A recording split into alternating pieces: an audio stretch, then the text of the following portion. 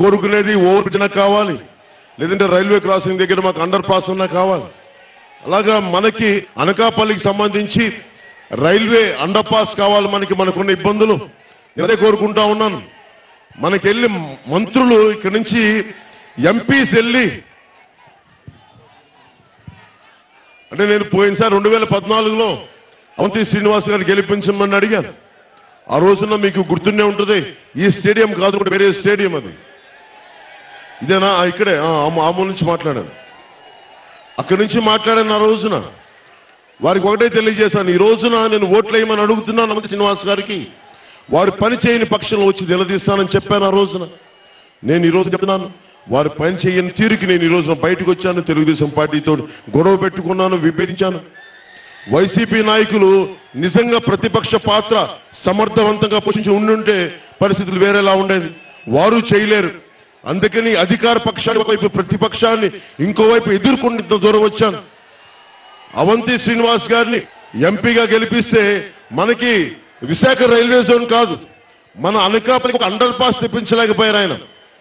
ఎప్పుడో లాస్ట్ ఓట్ల కోసం భారతీయ జనతా పార్టీ నాయకులు వచ్చేది మన ముఖాన రైల్వే జోన్ పడేశామని చెప్పి తూతూ మంత్రంగా పడేశారు. నేను మీకు ఈ రోజున మాటిస్తున్నాను.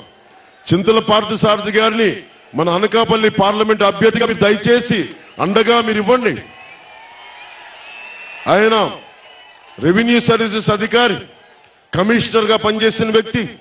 వారిని మనం పార్లమెంట్కి పంపించగలిగితే మనకి సెంట్రల్ ద్వారా ఏమేమి రావాలో అవన్నీ బలంగా ఆర్టికులేట్ చేయగలిగే వ్యక్తి మాట్లాడగలిగే వ్యక్తి సమ్- ఒక ఆర్గ్యుమెంట్ పార్లమెంట్లో బలంగా వినిపించగలిగే వ్యక్తి.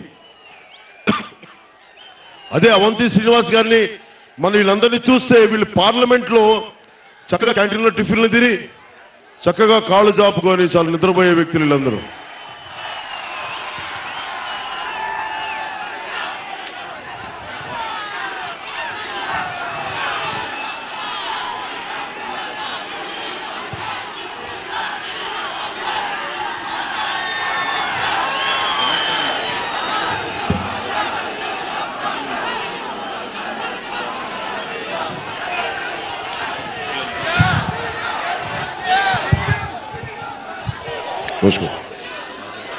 అలాగే ఇంతమంది ఆడపడుచులు వచ్చారు.